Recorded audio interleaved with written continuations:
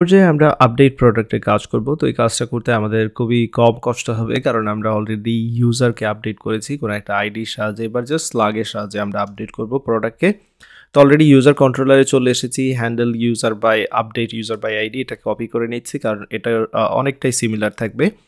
তো প্রোডাক্ট কন্ট্রোলারে চলে আসলাম, আমি এটাকে পেস্ট করে দিচ্ছি, অবশ্যই এখানে পরিবর্তন আনব। প্রথমে যে পরিবর্তন আনব হ্যান্ডেল আপডেট প্রোডাক্ট বা প্রোডাক্ট দিয়ে দিচ্ছি দ্যাটস অল এতটুকু।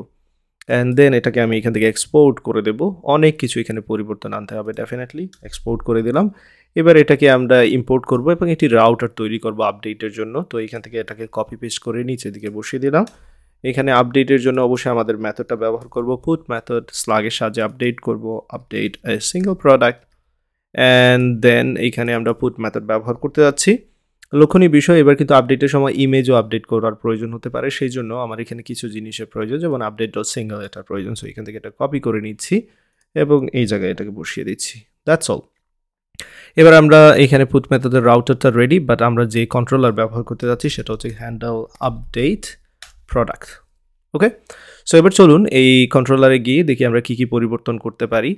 হ্যান্ডেল আপডেট প্রোডাক্টে প্রথমে আমরা এখানে আইডি নেব না, আসলে আমরা স্ল্যাগ নেব। স্ল্যাগের মাধ্যমে কি করব? আপডেট করব। তাই আমরা এখানে যে কাজটা করে নিই, আমরা স্ল্যাগ থেকে রিসিভ করে নিই স্ল্যাগ এবং রিকোয়েস্ট ডট প্যারামসটাকে এইখান থেকে রিকোয়েস্ট ডট প্যারামস থেকে স্ল্যাগ থেকে নিয়ে নিয়েছি। ওকে অপশন হিসেবে এখানে আমরা চাইলে আপডেট করার পর কী করব? সেগুলো, এখানে আসলে অনেক কিছুই আমরা দেখতে পাচ্ছি। আমরা চাইলে এইখানে যে কাজটা করতে পারি, আমরা কোনো একটা প্রোডাক্টের পাসওয়ার্ড তো থাকবে না ডেফিনেটলি সো এখানে এটার কোনো প্রয়োজন নেই। এখানে আমি বুঝতে পেরেছি যে আমরা আগে যেটা করেছিলাম হয়তো বা ফিল্টারিংয়ের কাজটা এখানে করেছিলাম request dot params dot slug use করেছিলাম এক্স্যাক্টলি সেম প্রসেসও রাখতে পারি, এখানে কোনো প্রবলেম নেই। দেন ফাইন্ড উইথ আইডি এখানে আমরা কি করতে যাচ্ছি? প্রোডাক্টটাকে খুঁজে নেওয়ার চেষ্টা করছি, তাই না? তো চলুন এই কাজটাকে কীভাবে সিম্পলি করতে হয় সেটা আমরা দেখে নেই। আমরা যে কাজটা করব, এখানে কি কি আপডেটস করব, সেটা এখানে লিখে দিচ্ছি। তো আপডেটসটা এখানেও ডিফাইন করে নিই আমরা কি আপডেট করতে যাচ্ছি, এখানে জাস্ট একটি অবজেক্ট তৈরি করে রেখেছি ওকে তারপর যে কাজটা করতে যাচ্ছি এখানেও দেখতে পাচ্ছি আমি আসলে ডিফাইন করেছি সো এখান থেকে এটা সরিয়ে নেই ওকে সিম্পল রাখার চেষ্টা করি। দেন ফাইন্ড উইথ আইডি এটার কোনো দরকার নেই, এখান থেকে এটা সরিয়ে নিচ্ছি।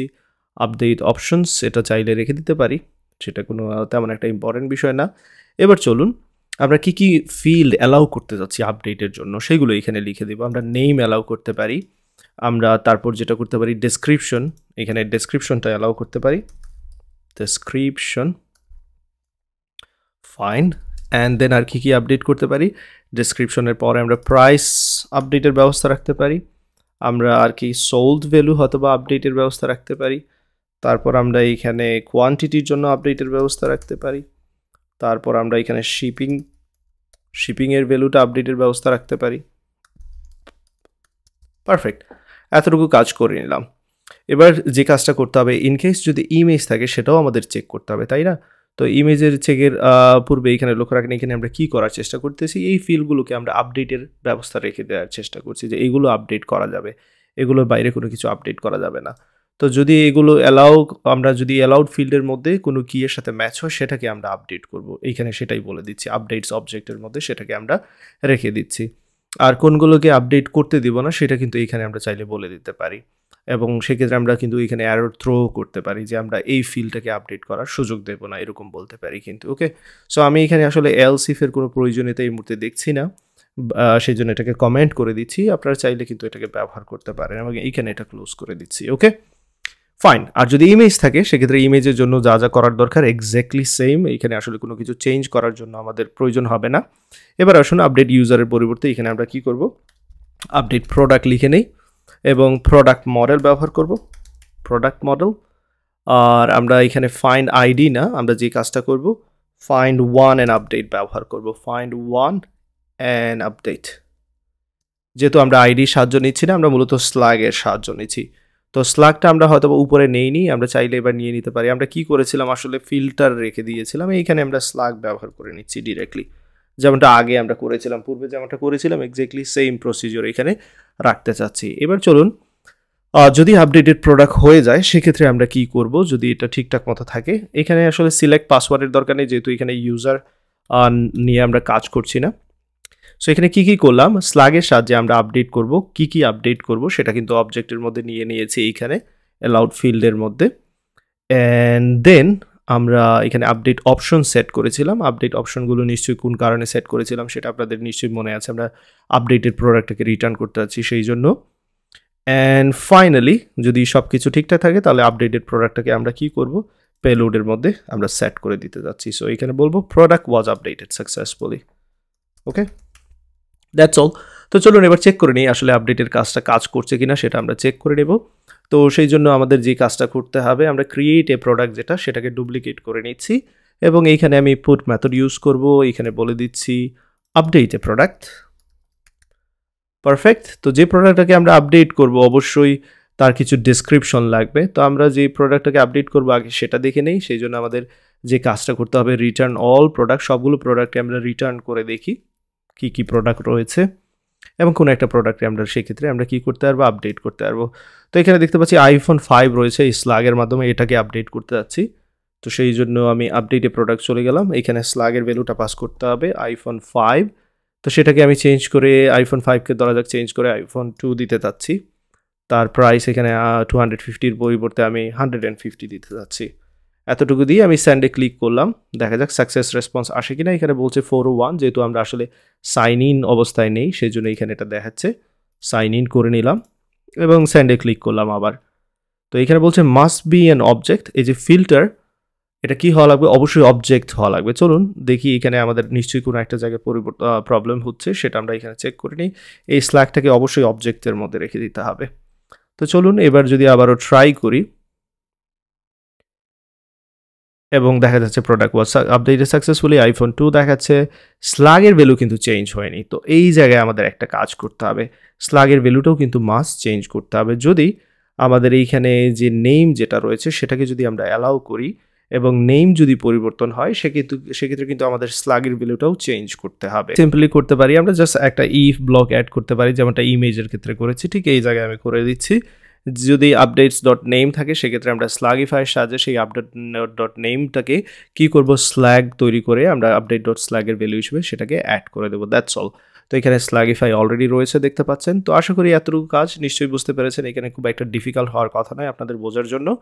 এবং আশা করি এখানে যা যা আমি করেছি তা আপনারা ঠিক মতোই বুঝতে পারছেন। তো এবার যে কাজটা করতে পারি, এখানে অনেক কিছু করেছি। তাদেরকে আমরা চাইলে যে কাজটা করতে পারি, একটি সার্ভিসের মধ্যে নিয়ে যেতে পারি। তো চলুন সেই কাজটা করি। এখানে আপ ডিলিট প্রোডাক্ট বাই স্ল্যাগকে আমি কপি পেস্ট করে নিলাম। এখানে আপডেট প্রোডাক্ট বাই স্ল্যাগ দিয়ে দিচ্ছি ওকে এবং ডেফিনেটলি এটাকে এক্সপোর্ট করতে হবে। আদারওয়াইজ তাকে তো আমি ইউজ করতে পারব না। এক্সপোর্ট করে নিলাম। এবার চলুন এখানে কি কি লাগবে আমার আপডেট করার জন্য। তো আমি প্রোডাক্ট কন্ট্রোলে চলে আসি। এইখানে আপডেট করার সময় আমার যা যা লেগেছিল আমি সেইখান থেকে এগুলোকে কপি করে নিয়ে যাব। স্লাগ রিকোয়েস্ট স্লাগ তো অবশ্যই লাগবে।